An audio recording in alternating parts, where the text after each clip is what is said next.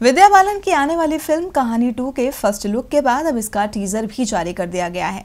तेरह सेकंड के टीजर में विद्या की दमदार अभिनय की एक झलक देखने को मिली है। टीजर में विद्या कहती नज़र आ रही है कि वह बेगुनाह है और उन्होंने कुछ नहीं किया। मैंने किसी का खून या अपहरण नहीं किया। ये कोई साजिश है, मुझे फंसाया जा रहा है। ये झूठ